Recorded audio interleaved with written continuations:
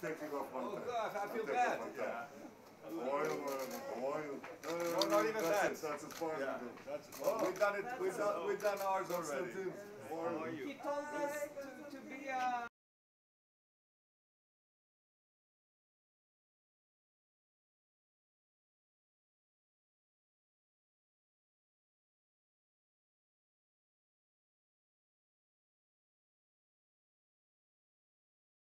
This is a wonderful opportunity to welcome you and uh, your wife, Mareva, uh, into our home, and your son, Konstantin.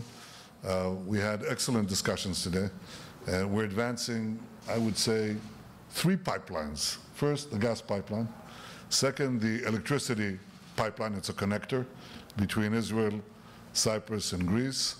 Uh, and third, the tourist pipeline. We hope uh, to be able to reestablish flights, but we said August 1st is a target date. It depends on the corona. Right now it's rising. We hope to control it and bring it down.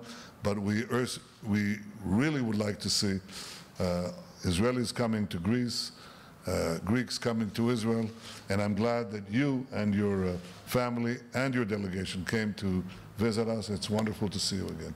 Great friendship. Thank you, Prime Minister. Thank you, and, and Sarah, for the wonderful hospitality. Thank you for having us over at your residence. We had a very full, but I think extremely productive day.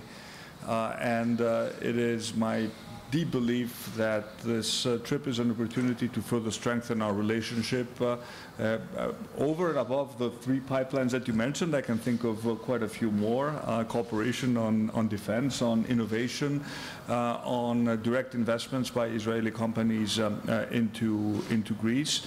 So I think this G2G meeting, which took place under rather extraordinary circumstances, but we're happy that we were able to make it to Israel, my first uh, foreign trip since phase one of the coronavirus, uh, and uh, very, very happy to use it as a springboard to further strengthen our uh, relationship. And again, thank you very much for the wonderful uh, hospitality. You truly made us feel at home. Thank you, and uh, we're following with great interest your economic reforms. I can tell you from personal experience, they work. Well, they've, um, they were working uh, in Greece uh, clearly before the coronavirus. Uh, we jumped uh, nine uh, places uh, in one of the main competitiveness uh, indices, uh, which is a good indication that we're moving in the right direction.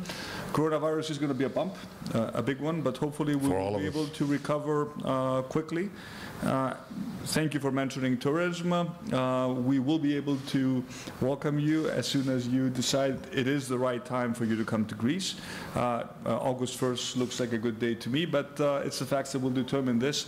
Uh, One thing you should know is that once visitors come to Greece, we will take every precaution to make them feel, but also be safe. So um, hopefully, towards the tail end of the summer, we'll see quite a few Israeli tourists come to Greece.